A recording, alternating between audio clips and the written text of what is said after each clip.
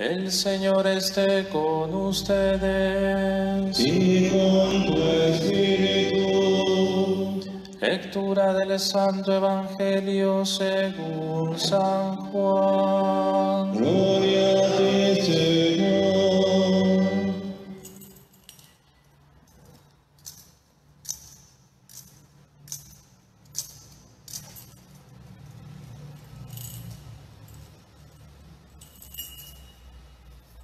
Al atardecer de aquel día, el primero de la semana, estaban los discípulos en una casa con las puertas cerradas por miedo a los judíos. Y en esto entró Jesús, se puso en medio y les dijo, paz a ustedes. Y diciendo esto les enseñó las manos y el costado. Y los discípulos se llenaron de alegría al ver al Señor. Jesús repitió, paz a ustedes. Como el Padre me ha enviado, así también los envío yo. Y dicho esto, sopló sobre ellos y les dijo, reciban el Espíritu Santo. A quienes ustedes perdonen los pecados, les quedan perdonados. A quienes se los retengan, les quedan retenidos. Tomás, uno de los doce llamado el mellizo, no estaba con ellos cuando vino Jesús. Y los otros discípulos le decían, hemos visto al Señor. Pero él les contestó, si no veo en sus manos la señal de los clavos, si no meto mi dedo en el agujero de los clavos y no meto mi mano en su costado, no lo creo. A los ocho días estaban otra vez dentro los discípulos y Tomás con ellos. Llegó Jesús estando cerradas las puertas, se puso en medio y dijo, paz a ustedes. Luego dijo a Tomás, trae tu dedo, aquí tienes mis manos, trae tu mano y métela en mi costado, y no seas incrédulo sino creyente. Contestó Tomás, Señor mío y Dios mío. Jesús le dijo, porque me has visto, has creído. Dichosos los que crean sin haber visto. Muchos otros signos que no están escritos en este libro hizo Jesús a la vista de los discípulos. Estos se han escrito para que crean que Jesús es el Cristo, el Hijo de Dios, y para que creyendo tengan vida en su nombre. Pa- palabra del Señor. Gloria a ti, Señor Jesús.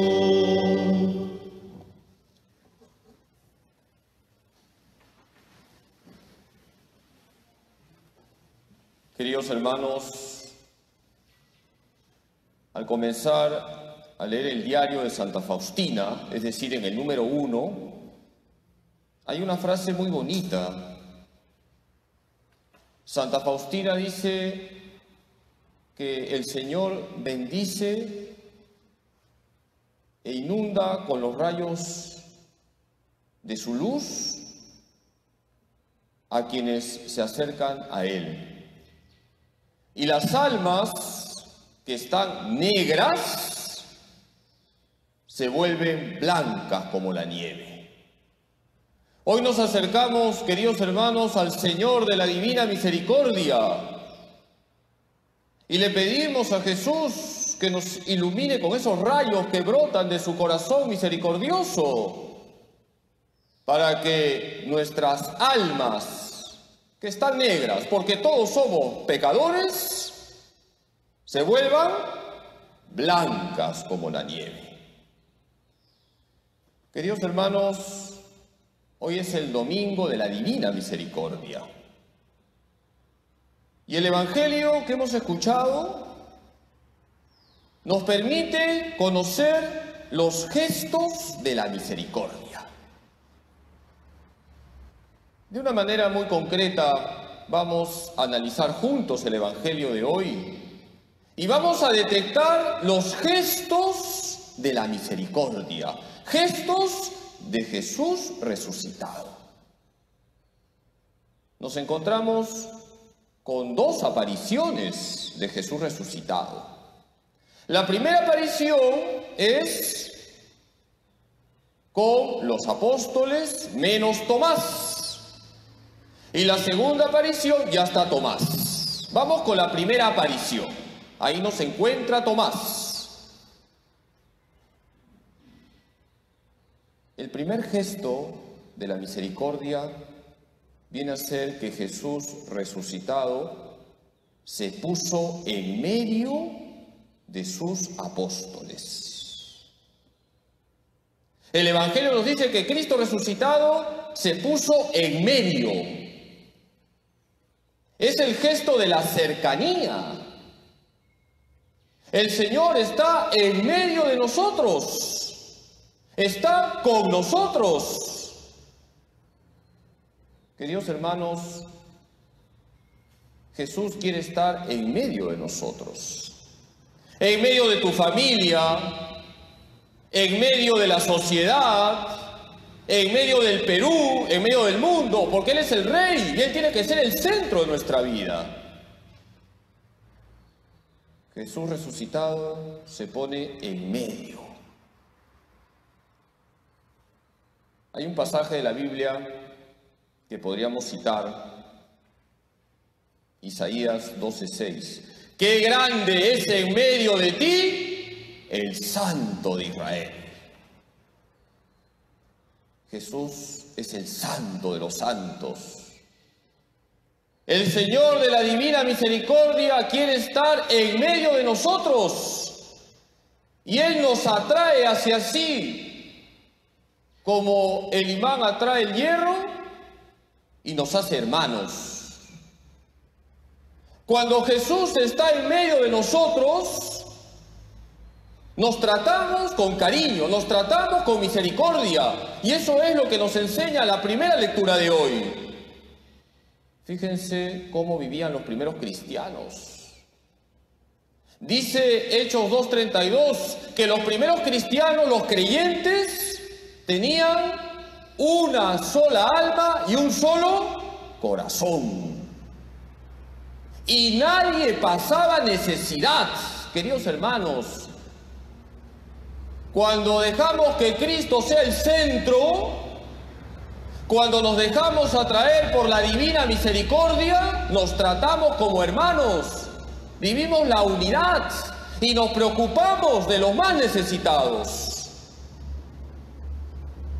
Hay que dejar que Jesús sea el centro, que esté en medio de nosotros, porque a veces no le dejamos. Usamos mal nuestra libertad. El primer gesto de la misericordia que hoy trae el Evangelio, ¿cuál es? Es el gesto de la cercanía. Jesús está cerca de ti. Deja que Jesús sea el centro de tu vida, de tu familia, dejemos que Jesús sea el centro del Perú. Yo no voy a hablar de política, pero tengo que decir como sacerdote que un católico vota con conciencia católica. ¿Sí o no? Queridos hermanos, somos católicos y hay unos bienes que son innegociables y no hay que ceder ni un centímetro. De lo contrario, sacamos a Jesús de en medio. Y Jesús resucitado se pone en medio. No expulsemos a Jesús del Perú. Repito, no estoy haciendo política. No vaya a ser que ahorita entre un policía y me lleve a la comisaría. Estoy diciendo lo que señala la doctrina social de la iglesia. Tú debes dar gloria a Dios con tu voto. Yo no te voy a decir por quién. Y estaría mal que lo diga. Tú eres libre, pero tú eres un creyente. Y debes votar con tu conciencia católica. Y esto significa que debes considerar unos bienes innegociables, el respeto a la vida, que es sagrada desde el primer instante de su concesión, el respeto al matrimonio, que es entre varón y mujer, el respeto a la familia, el respeto a esa libertad de los padres de familia por educar a sus hijos, y también la promoción de los pobres, la justicia social. Todos esos bienes se armonizan y tú decides. Sigamos con el Evangelio. Jesús resucitado se pone en medio. Es el gesto de la cercanía. Y viene el segundo gesto. ¿Qué es lo que Jesús le dice a sus apóstoles estando él en medio de ellos? A ver, ¿quién me dice? Fuerza cristal. La paz con ustedes. Es el gesto de la paz. Queridos hermanos, cuando Jesús es el centro de tu vida, tienes paz. Cuando vives a espaldas de Jesús, no tienes paz. Cuando una persona se siente amada por el Señor, esa persona tiene paz, aunque tenga un millón de problemas. Cuando todos los días tratas a Cristo resucitado, tienes paz y llevas paz. A mí me gusta leer mucho el último número del diario y les recomiendo que lo lean número 1828. Santa Faustina dice, me siento envuelta por Dios. Y dice Santa Faustina, solamente sé que Él me ama. Y yo lo amo, y eso me basta. Fíjense qué bonito. Siéntete amado por el Señor de la Divina Misericordia y vas a tener santa paz. Y vas a llevar paz ahí donde estés. Vas a hacer un buen ambiente porque vas a llevar la misericordia. Sigamos con el Evangelio. Jesús resucitado se pone en medio, el gesto de la cercanía. Da la paz el gesto de la paz. ¿Y qué más? Los estoy despertando. ¿Qué enseña? Enseña sus manos y el costado. Es el gesto de las llagas. Queridos hermanos, Cristo ha resucitado, está vivo, glorioso, pero tiene en su cuerpo santísimo las huellas de la cruz. No debemos olvidarnos de la cruz. El gesto de las llagas nos está diciendo hasta dónde llega el amor de Jesús por nosotros. Porque esas llagas son el efecto de su pasión dolorosa y de su muerte en la cruz. Y si Jesús fue flagelado, coronado de espinas, insultado, clavado a la cruz, es porque nos ama hasta el extremo. El gesto de las llagas nos está diciendo que hay alguien que nos ama hasta el extremo. ¿Quién es? Jesús, el Señor de la divina misericordia. Y así tenemos que amar a los demás hasta el extremo. A la Madre Teresa de Calcuta le preguntaron una vez, ¿hasta dónde tengo que amar? Hasta que te duela, dijo la Madre Teresa de Calcuta. Así tenemos que amar, hasta que nos duela. Como Cristo nos ama. Y si alguien tiene dudas, que contemple las llagas de Cristo. Sigamos analizando el Evangelio. Jesús se pone en medio, gesto de la cercanía. Jesús da la paz, gesto de la paz. Jesús muestra sus manos y el costado, el gesto de las llagas. ¿Y qué más? Les voy a dar una pista.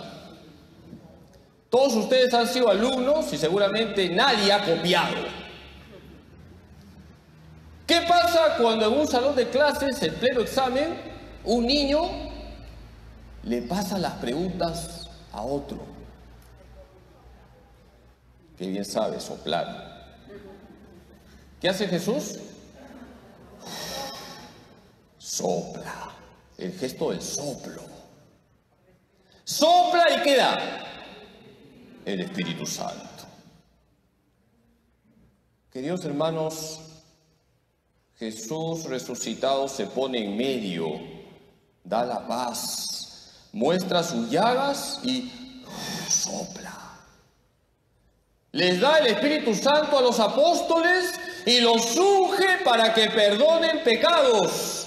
Reciban el Espíritu Santo. A quienes perdonen los pecados les quedan perdonados, a quienes se los retengan les quedan retenidos. Queridos hermanos, ¿cómo no hablar hoy del sacramento de la confesión?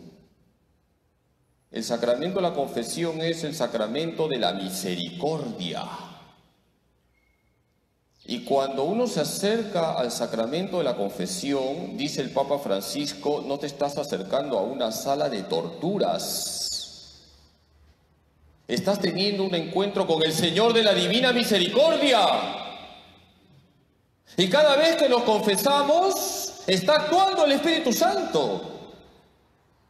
En efecto, el Espíritu Santo actúa en cada sacramento de la confesión. Cada vez que un penitente se acerca a un sacerdote, está actuando el Espíritu Santo. ¿Por qué? Porque el sacerdote está ungido por el Espíritu Santo para absolverte.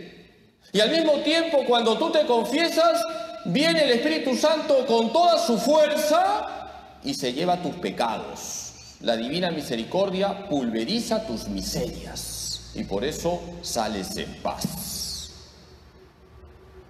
El gesto del soplo nos lleva a la acción del Espíritu Santo cada vez que se celebra el sacramento de la confesión, sacramento de la misericordia.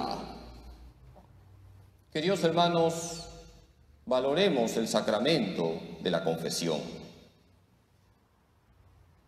Lo mejor que podemos hacer para celebrar todos los días del año al Señor de la Divina Misericordia es acercarnos con frecuencia a la confesión. El sacerdote te va a escuchar, te va a aconsejar y te va a absolver. Y te dará una pequeña penitencia. Yo soy buena gente, doy pequeñas penitencias, que duerman sobre clavos, que se vayan de rodillas a la plaza de armas, etcétera, etcétera. Aquí podríamos dejar la homilía, pero les pregunto, ¿estaría completa o incompleta? Estaría muy incompleta. Les he hablado de la primera aparición. ¿Quién no estaba ahí? Tomás. ¿Dónde estaba? Yo siempre me he preguntado cuando medito en el Evangelio de hoy, ¿dónde estaba Tomás? ¿Dónde debería estar? Debería estar con sus compañeros, en la iglesia, en la comunidad. ¿Dónde estaba Tomás? ¿Dónde estaba? En un chifa, dice un hermano, tiene hambre. No sabemos dónde estaba. Debería haber estado con sus compañeros, en la iglesia. Y entonces vamos al último gesto de misericordia. Quizás el más tierno, el más conmovedor.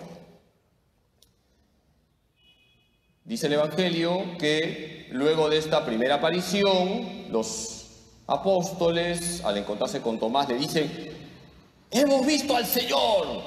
Tomás, incrédulo, no creo, tengo que ver. Y entonces, dice el Evangelio, fíjense cómo se repite muchas características de la primera aparición.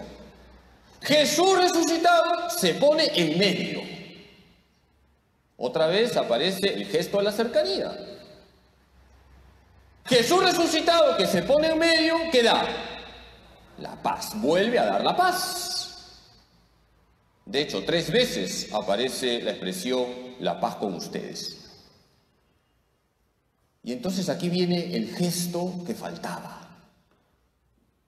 el gesto de la sanación. Porque había un apóstol que la estaba pasando mal. Había un apóstol que no tenía paz. Había un apóstol que estaba desilusionado, desanimado, desinflado. ¿De quién estoy hablando? De Tomás. La estaba pasando mal. Su corazón estaba enfermo porque no creía que Cristo había resucitado. Y Jesús se vuelve a aparecer, se pone en medio, da la paz y llama a Tomás. Ven Tomás, ven, ven, ven, ven Tomás, ven. Tu dedo mételo en las llagas de mis manos. Tu mano colócala en mi costado y no seas incrédulo, sino creyente. Jesús sanó la incredulidad de Tomás. El Señor de la divina misericordia sana nuestras incredulidades, porque hermanos, muchas veces estamos débiles en la fe. Y esta pandemia es una tentación contra la fe. Cuánto dolor, cuánto sufrimiento.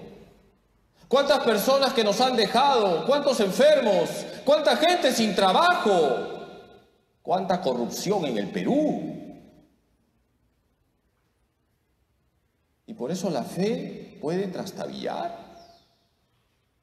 Necesitamos que el Señor de la Divina Misericordia sane nuestras incredulidades. Necesitamos que el Señor de la Divina Misericordia sane nuestros corazones enfermos. Queridos hermanos, Tomás fue sanado y por eso va a decir lo que a mi parecer es la jaculatoria más bonita de toda la Biblia. ¿Quién la puede decir? A ver, bien fuerte. A ver, que se escuche porque hay muchos que nos están siguiendo a través del Facebook y de YouTube. Más fuerte. Señor mío y Dios mío. Queridos hermanos, todos los días hay que decirle a Jesús, el Señor de la Divina Misericordia, Señor mío y Dios mío. Nadie está tan cerca de mí como tú.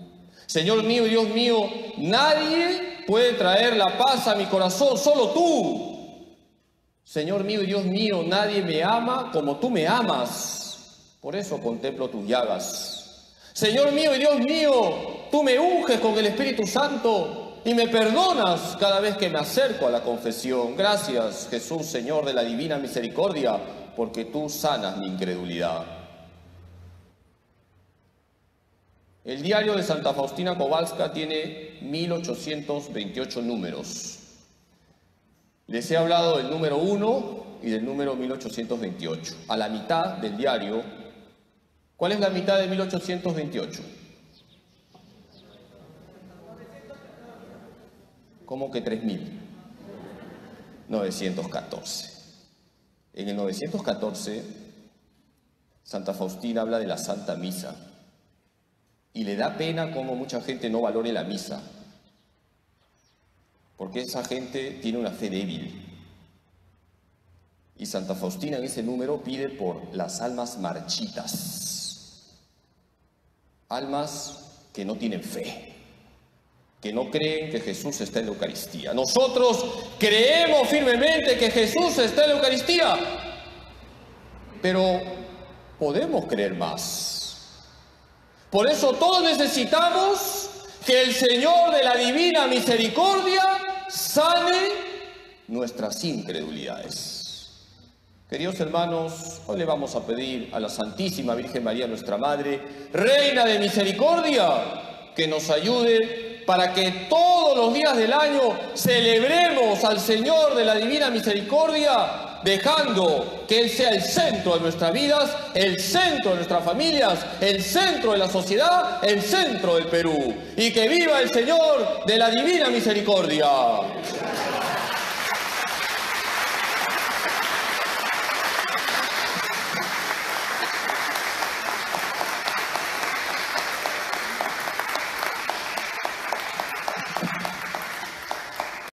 Queridos hermanos, el Evangelio de hoy nos presenta los gestos de la misericordia. Jesús resucitado se pone en medio de los apóstoles, es el gesto de la cercanía, Él está en medio de nosotros, está con nosotros, Él nunca nos deja. Jesús resucitado da la paz, es el gesto de la paz. Si todos los días tratamos al Señor de la Divina Misericordia y nos dejamos inundar por esos rayos de luz que brotan de su corazón, vamos a tener paz y vamos a llevar paz. Jesús resucitado muestra sus manos y su costado. Es el gesto de las llagas que nos enseñan hasta dónde tenemos que amar, hasta el extremo. Jesús resucitado sopla, da el Espíritu Santo. El Señor nos unge con su Espíritu y de manera especial unge a los sacerdotes para que en su nombre perdonen los pecados. Y el último gesto, el gesto de la sanación. El Señor de la Divina Misericordia sana nuestra fe débil, sana nuestras incredulidades y nos hace creyentes de verdad. Pase lo que pase, hay que decir, Jesús, en ti confío. Vamos a pedirle a la Virgen, nuestra Madre, que nos ayude para que todos los días de nuestra vida pongamos como centro siempre al Señor de la Divina Misericordia. Dios te salve María, llena eres de gracia, el Señor es contigo, bendita tú eres entre todas las mujeres, y bendito es el fruto de tu vientre Jesús. ruega por nosotros pecadores, ahora y en la hora de nuestra muerte. Amén. Gloria al Padre, y al Hijo, y al Espíritu Santo. Jesús, En ti confío, Jesús, en ti confío, Jesús, en ti confío. dulce corazón de María, de San José, Ruega por nosotros, Santa Faustina Kowalska, ruega por nosotros.